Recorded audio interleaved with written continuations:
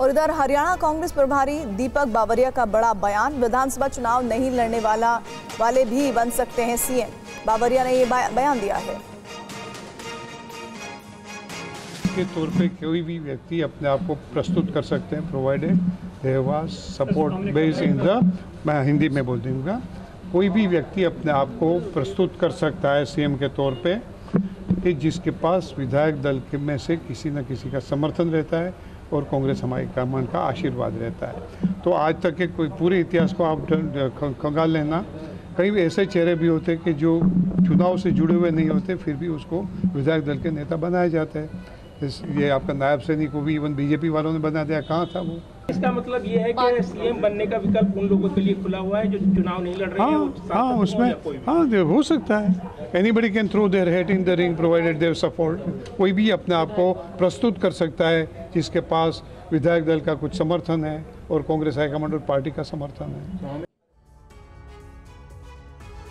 किसानों पर दिए गए विवादित बयान के बीच आज बीजेपी सांसद कंगना रनौत ने दिल्ली में जेपी नड्डा से मुलाकात की। तो अब कंगना के जातीय जनगणना वाले बयान पर भी कांग्रेस ने बीजेपी को घेरा है। देखिए ये खबर। आज दिल्ली में बीजेपी अध्यक्ष जेपी नड्डा से कंगना रनौत की मुलाकात हुई। किसानों पर दिए बयान पर मचे विवाद के बाद कंगना आज जेपी नड्डा से मिली। दोनों के बीच नड्डा के घर पर करीब 20 मिनट बैठक हुई। तो कंगना रनौत के जाति जनगणना वाले बयान पर जेडीयू ने नाराज़गी जताई है। जेडीयू महासचिव केसी त्यागी ने कहा कि कंगना रनौत बीजेपी की प्रवक्ता नहीं है। भारतीय जनता पार्टी ने उनसे दूरी बनाई है और उनको पार्टी के पॉलिसी प्रोग्राम पर बोलने के लिए अधिकृत नहीं किया है।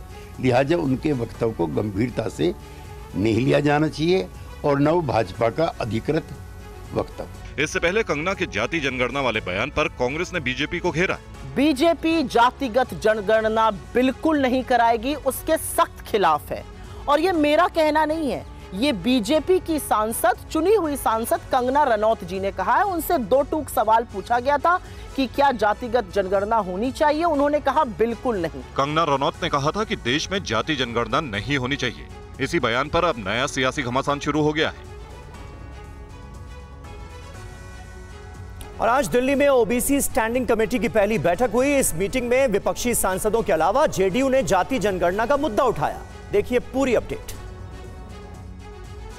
आज दिल्ली में हुई ओबीसी स्टैंडिंग कमेटी की पहली बैठक में जाति जनगणना का मुद्दा ज़ोर शोर से उठा। विपक्षी सांसदों ने गृह मंत्रालय से जाति जनगणना पर चर्चा की मांग की। विपक्षी सांसदों ने वंचित समाज को पूरा अधिकार दिलाने के लिए जाति जनगणना को बेहद ज़रूरी बताया। डीएमके की तरफ़ से टी आर बालू, कांग्रेस के मणिकम टैगोर और टीएमसी के कल्याण बैनर्जी ने जाति जनगणना को सामाजिक न्याय के लिए बेहद ज़रूरी बताया।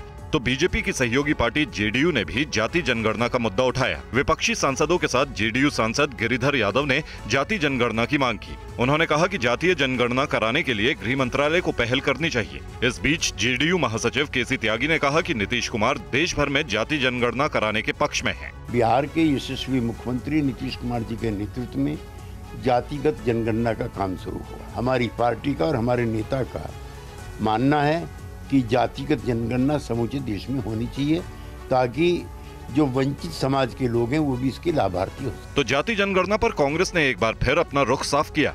कांग्रेस ने कहा कि जाति जनगणना कराना पार्टी की प्राथमिकता है।